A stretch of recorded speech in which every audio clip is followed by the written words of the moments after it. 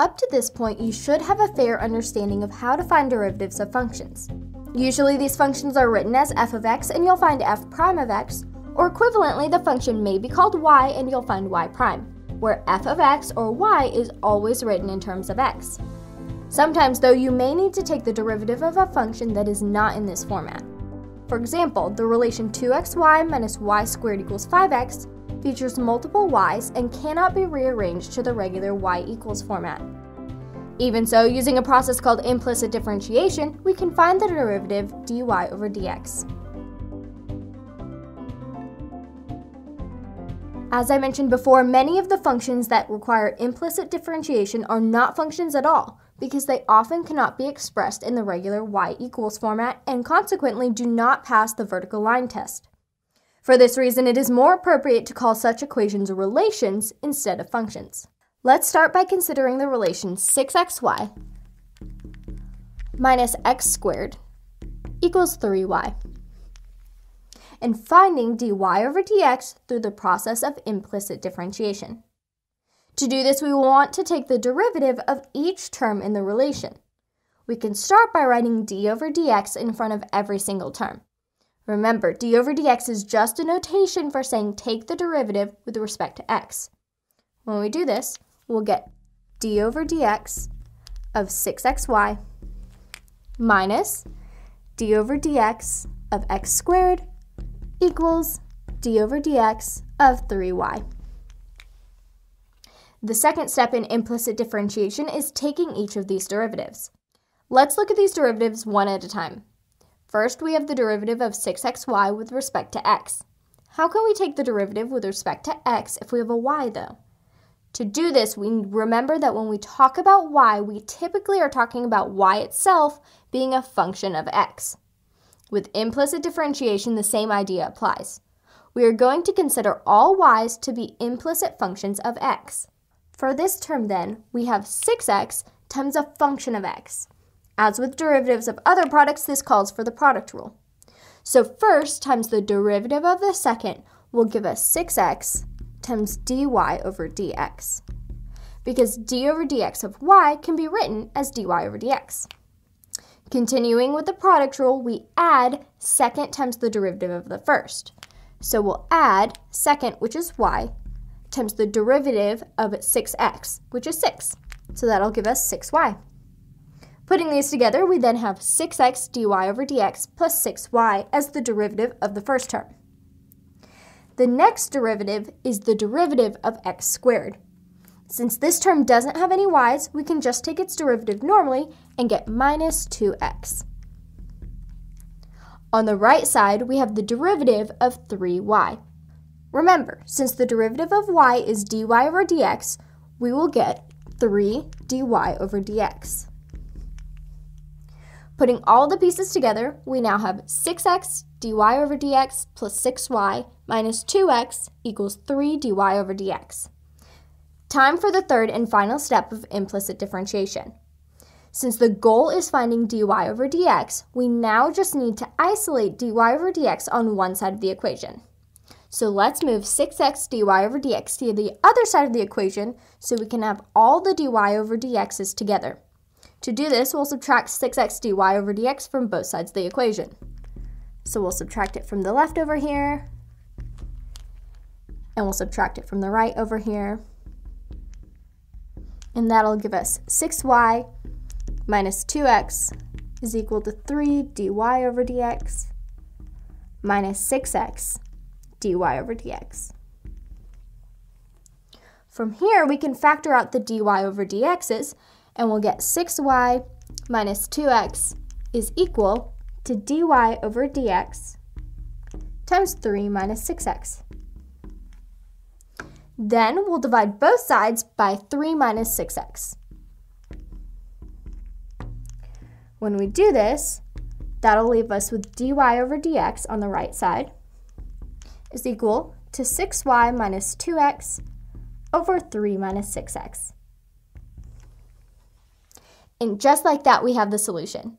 The three steps of implicit differentiation are writing d over dx in front of each term, taking the derivative of each term with respect to x, and then solving for dy over dx. Let's try this with another example. Use implicit differentiation to find dy over dx for the relation y cubed minus 4x is equal to xy. Just like in the last example, we can start the implicit differentiation process by writing d over dx in front of each term. This will give us d over dx of y cubed minus d over dx of 4x is equal to d over dx of xy. Next, we need to take the derivative of each term with respect to x. Notice that the first term is y cubed. This is different from y to the first power, which we could take the derivative of just by writing dy over dx.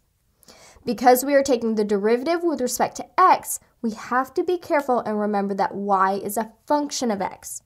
In the first term, we are essentially seeing a function, y, inside another function, a cube. Sound familiar? Because we have a function inside a function, we need to use the chain rule for this term. Remember, the chain rule says that the derivative of a composite function, f of g of x, is equal to the derivative of the outside function with the inside function unchanged times the derivative of the inside function. So in this problem, the derivative of y cubed with respect to x is equal to the derivative of the outer cube function, 3y squared, times the derivative of the inner function y. So we'll write that as 3y squared times the derivative of y, which is dy over dx. This is a very important step to remember with implicit differentiation since it comes up quite frequently. In fact, anytime you have to take the derivative of a term involving y to some power other than 1, you'll need to use the chain rule and multiply by dy over dx. Let's take the derivatives of the other terms now. The derivative of negative 4x with respect to x is, of course, minus 4. And then on the right side, the derivative of xy with respect to x can be found using the product rule. First times the derivative of the second gives us x times dy over dx plus second times the derivative of the first. So we'll get y times 1, which is just y. So putting everything together, we now have 3y squared dy over dx minus 4 is equal to x dy over dx plus y. The final step of implicit differentiation is solving this equation for dy over dx. To do this, let's move x dy over dx to the left side and move the minus 4 to the right side. By subtracting x dy over dx from both sides and adding 4 to both sides, we'll get the next step in our problem. So we'll subtract x dy over dx from both sides and add 4 to both sides. This will give us 3y squared dy over dx minus x dy over dx is equal to y plus 4. Now let's factor out dy over dx from both terms on the left side. So dy over dx times 3y squared minus x is equal to y plus 4. Finally, we can get dy over dx by itself by dividing both sides by 3y squared minus x. So we'll do that on both sides and get that dy over dx is equal to y plus 4 over 3y squared minus x. You may have noticed that both the solutions in this lesson so far have included the letter y in the derivative. This is nothing to be worried about though and is just a consequence of how implicit differentiation works. Rest assured, as long as you follow the three steps properly and remember the chain rule where applicable, you'll be on the right track. Let's work through one more example. Use implicit differentiation to find dy over dx for the relation sine of y squared is equal to 5x squared plus y. First, we can start by writing d over dx in front of each term. So we'll have d over dx of sine of y squared is equal to d over dx of 5x squared plus d over dx of y. The first term is going to be the trickiest. Because we have a function y squared inside the sine function, we're going to need the chain rule. The derivative of the outside will be cosine, So we're going to have cosine of y squared times the derivative of the inside. So let's write that step out. So we'll have cosine of y squared times the derivative of y squared. And then the right side will stay the same for right now. We're not working with that part yet.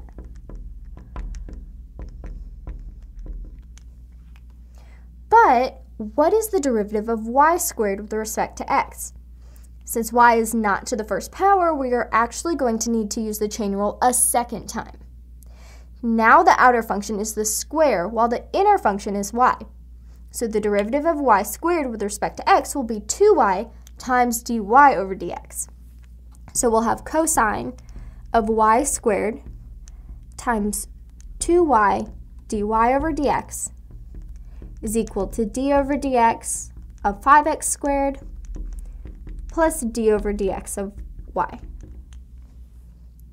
We can now rearrange this a little bit on the left side and we'll get 2y cosine of y squared dy over dx. And again, the right side is just going to stay the same. We'll handle that in just a second. Fortunately, the other two derivatives in this problem are much simpler.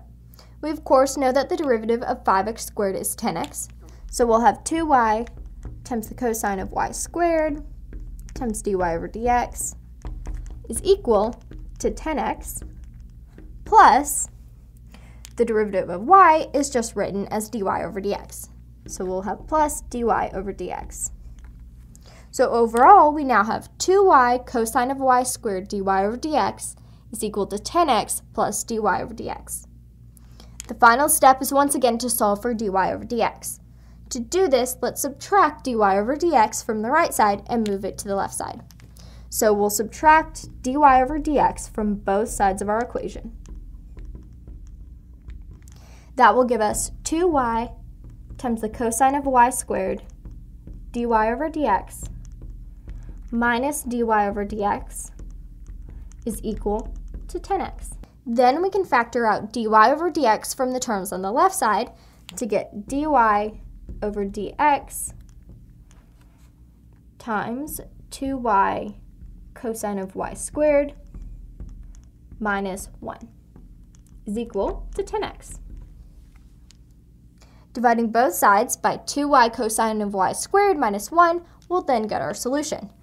So we're going to divide, divide both of our sides by 2y times the cosine of y squared minus 1.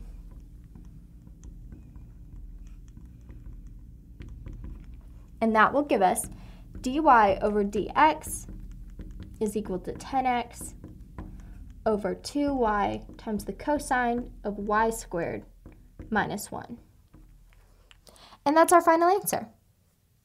Implicit differentiation can seem like a weird and tricky topic in calculus, but keep in mind the three main steps. First, write d over dx in front of all terms in the relation. Second, take the derivative of each term, taking special care to remember that y is a function of x and will often require the chain rule for proper execution. And third, solve the resulting equation for dy over dx. As always, with a little practice, you should feel more and more confident with implicit differentiation. I hope this video was helpful. Thanks for watching and happy studying.